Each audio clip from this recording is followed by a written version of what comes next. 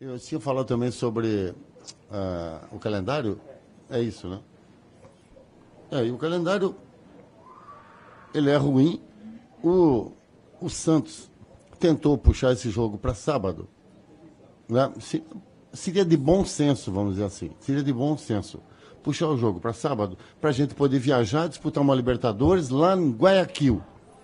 Se se perguntar para qualquer a, a qualquer pessoa formada em educação física ou que entenda um pouco de futebol, eu vou dizer, não, seria ótimo a recuperação pelo menos. Mas não foi possível. Porque há outros interesses no futebol que vocês às vezes não percebem. Então, algumas pessoas levam, levam vantagens, alguém, algum, alguns levam vantagens e outros sofrem.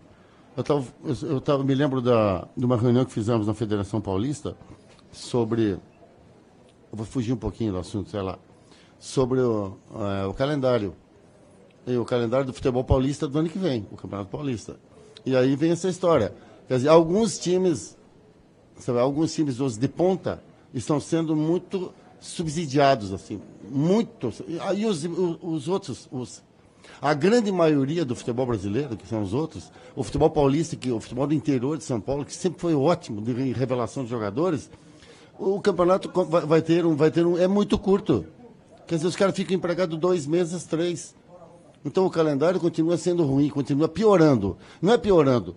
Eles estão é, dando muita prioridade, muito, muita vantagens para os, os, os, de ponta. Então vai ficar Barcelona e Barcelona e Real Madrid. E o resto faz um campeonatinho, assim, para. Pra... Então isso precisa. Eu acho que precisa repensar. Nós precisamos ver a minoria. Porque a, a, a maioria a maioria dos atletas do futebol brasileiro, isso é, é, eu, eu, eu gostaria de enfatizar, eles recebem até dois salários mínimos. 98%. Vocês não acreditam, né? É mais de 98%. Eles ganham até dois salários mínimos. Agora a gente está privilegiando a minha, eu, minha turma aqui, o Santos, o Corinthians.